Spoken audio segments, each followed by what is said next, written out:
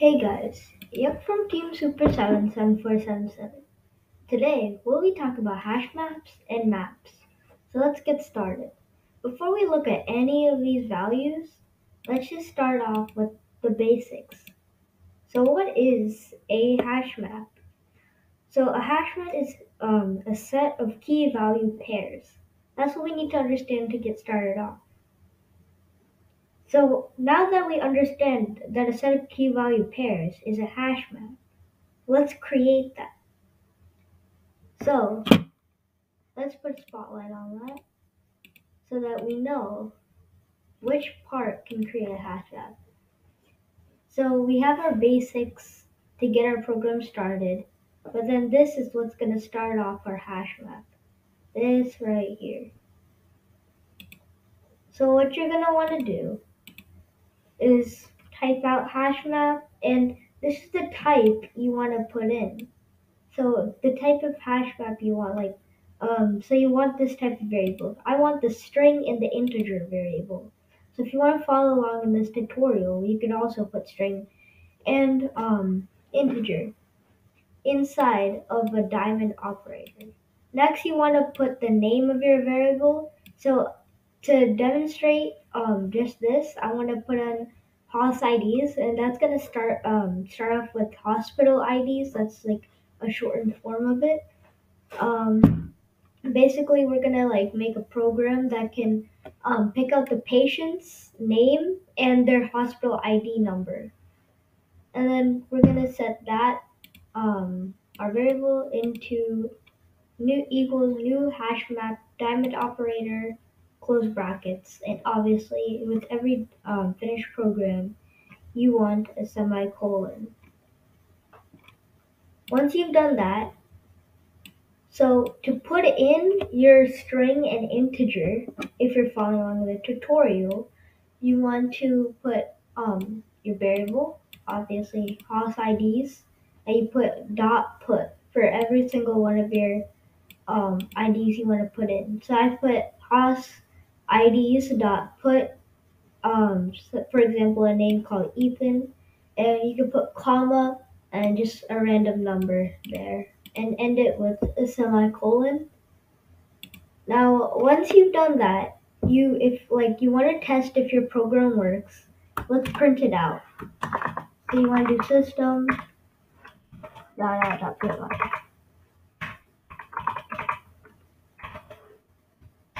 Once you've done that, you want to put HOS IDs inside of the curly brackets.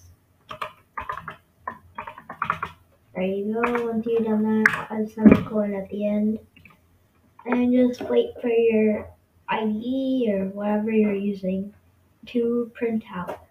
So there we go. We've got an Ethan equals 73493, Alice, and Mary. So now that we've done that, how do we get a specific name? So in order to do that, let's print out, let's say we want to print out Mary's name. So same thing, obviously, to print out anything in Java. You want to do system, dot dot dot print line again. Um, okay, once you've done that, you want to print it out. If you do not know how to do it, just do um, print line env IDs os IDs there we go. And then you want to do dot get. Once you've done that put some another set of curly brackets.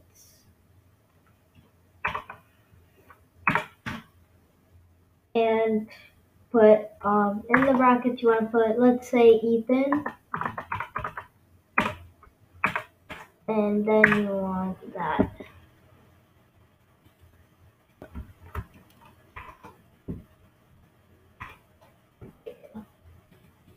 I'll print that. We should be getting um, a representation of Ethan.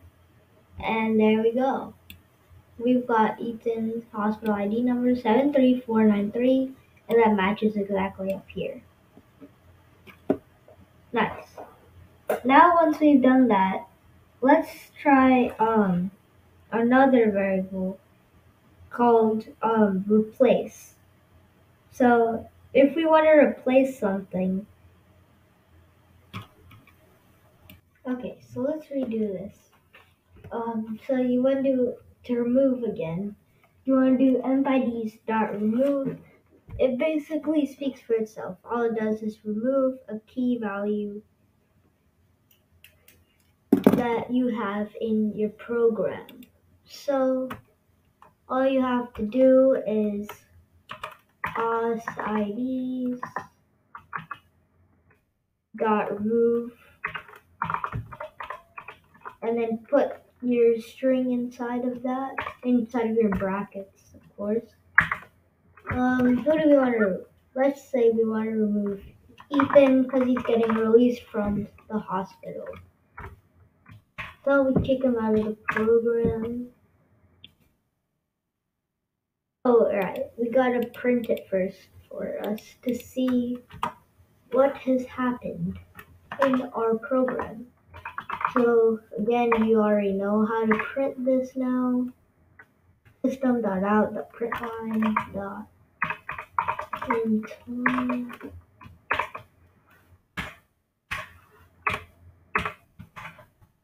And right, host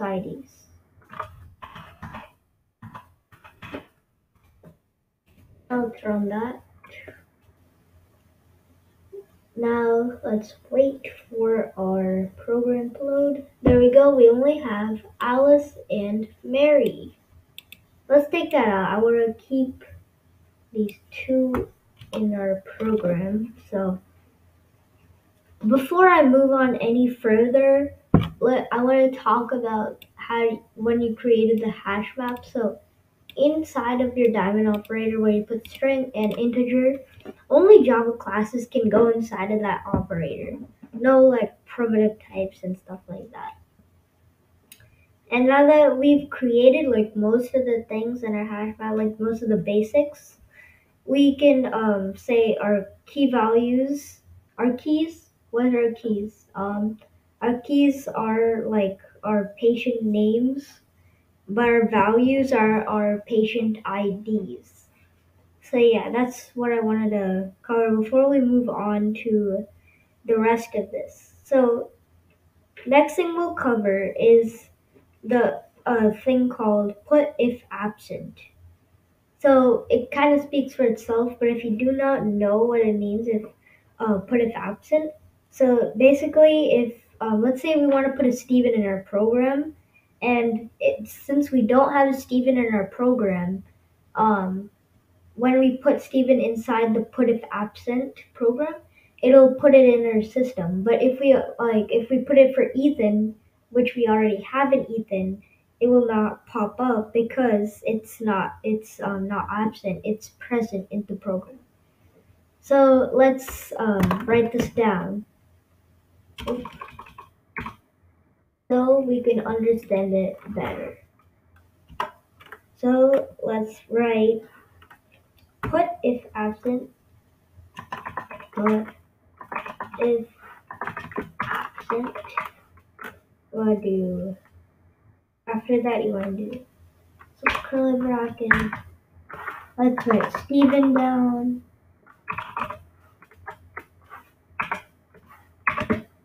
Then you want to do let's create another um okay three two thirty six. There we go. That should be okay. Now let's print that out.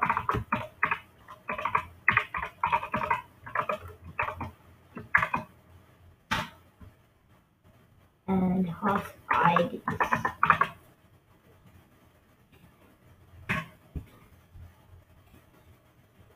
Wait for your program to load. Oh no, I think we do have an error. I think you might have to put a um, non-capital P if I'm not wrong. I might have been wrong for that.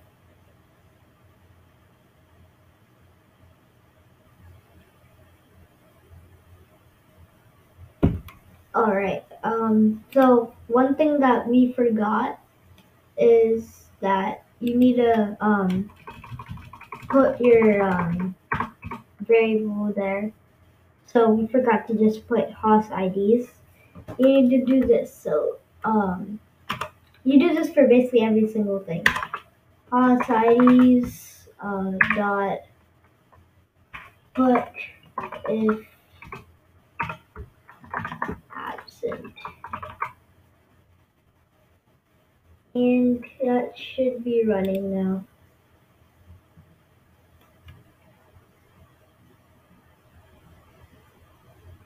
There you go. Now I have Ethan, Alice, Mary, and now we have Steven. But let's now put a um program that we already have. Alice, we already have that. What if we put Alice? Let's see what happens. Wait for your program to load. And there we go. So nothing happens because Alice is already in our program. So it won't do anything to Alice. That so that's what it means by put if absent. So it only adds a key if that key never existed. So if we could do the same with empids.put again, but it'll only replace um, the current existing value rather than the empids.put. So let's do uh, let's do the empids.put for replacing the value as we did before. What I want to show you is how it just overrides the value. I and this can be shown in the program that I'm going to be typing out. I added Stephen back to the program. And now let's do empids. IDs.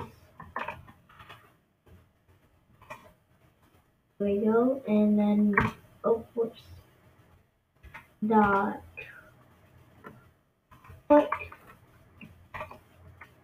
And we want to put in, um, any value, let's say um, we want to put in another Alice.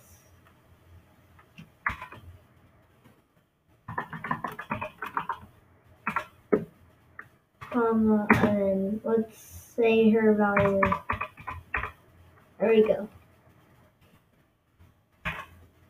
Semicolon, and let's run it. Watch what happens.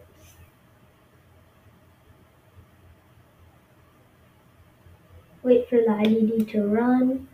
There we go. Nothing happened. Oh, oh we for nothing happened because the um got printed out.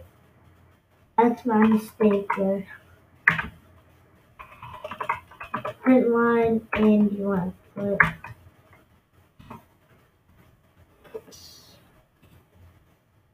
pause IDs.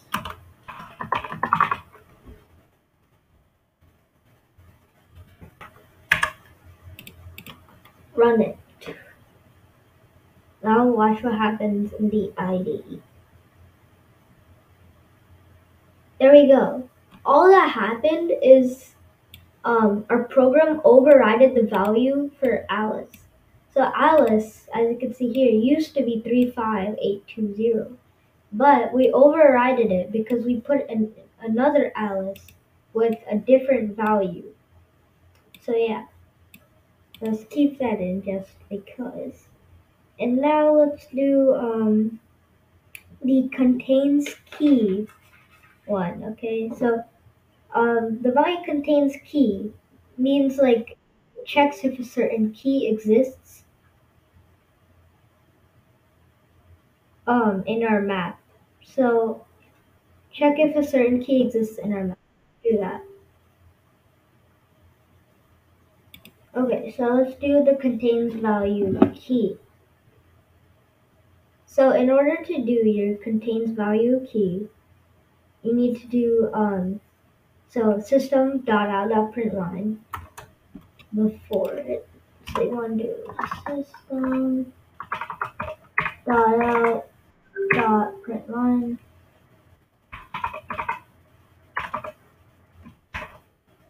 There we go. And then inside of your brackets, put host IDs. And then put dot contains key.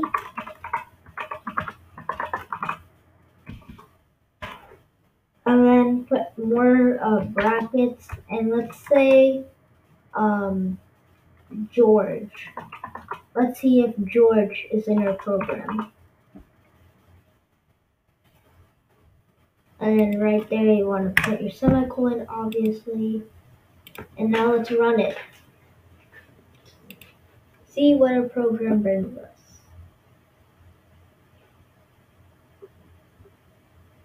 Give it a second, it might take a little bit. There we go. You can see now that it's printed false because George is not in our program.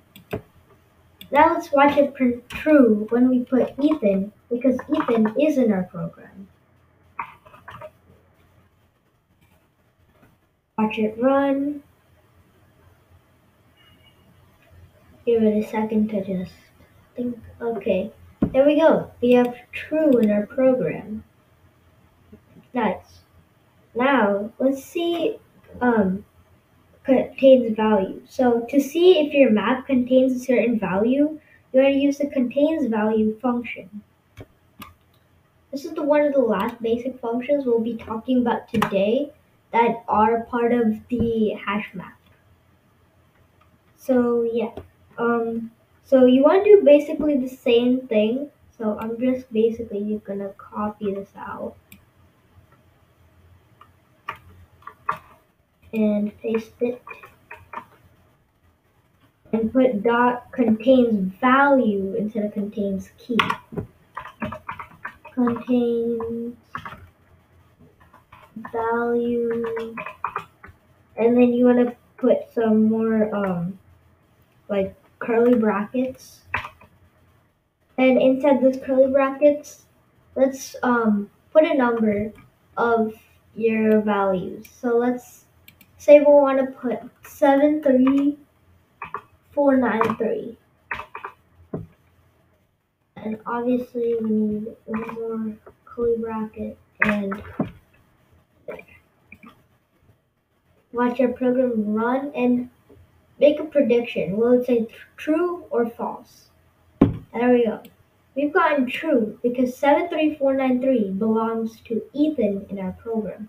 So what if we just put a random number like, there we go. Okay, now make another prediction. What will it print out? So if your prediction was false, you will be correct because this number does not uh, give any value in this program. There we go. Good job on working on your first hash map ever.